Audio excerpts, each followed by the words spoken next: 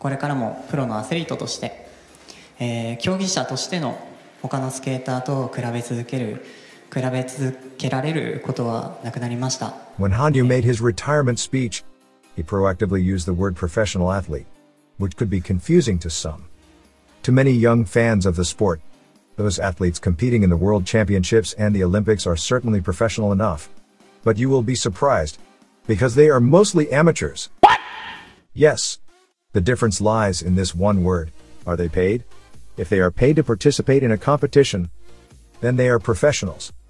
If they aren't paid, no matter how insane their skills are. Now, excuse me, I have to say this.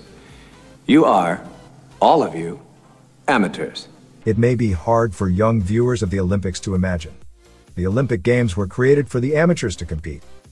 When Pierre de Coubertin had the idea of reviving the Olympic Games of ancient Greece, he envisaged a strictly amateur affair. In the first modern Olympic Games held in Athens in 1896, all participants must have never competed for money, or else they would be disqualified.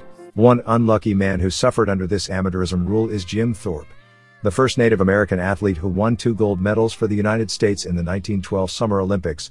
He had his gold medals in decathlon and pentathlon stripped because he had been paid for playing professional baseball.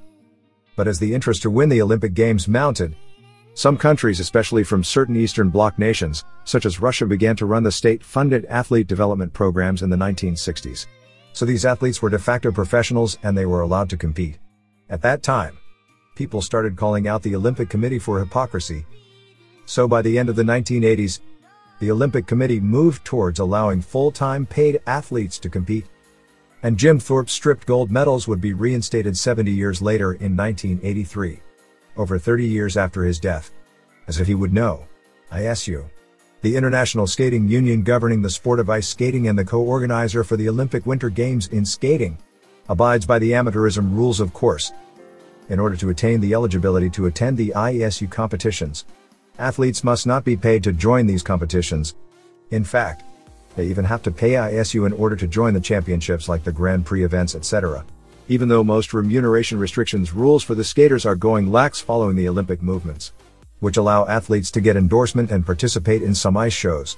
The skaters still have to follow a series of strict protocols and only attend competitions sanctioned by the ISU to maintain their eligibility to compete in the championships. Hence, there's such a term going pro in skating, which normally means retirements from the ISU organized competitions. Turning pro, it's freeing, it's liberating. So, what does being a professional athlete really mean? If you're an NBA or soccer fan, you'll know that this is the time of year where we are constantly on the lookout for the latest transfer and trade news and rumors. So these are the professional athletes' lives. Big money and big ticketed item sales. It means professional management of the athlete's career. It means endless opportunities with minimal restrictions from the rules of competitions. For 24-year-old Surya Bonaly, this night represents the start of a new life her professional debut right here. How does it feel to finally be able to do that backflip and not be penalized for it? Oh, that's cool. I can do it the same way. It's okay, nobody gonna yell on me. I will be just free.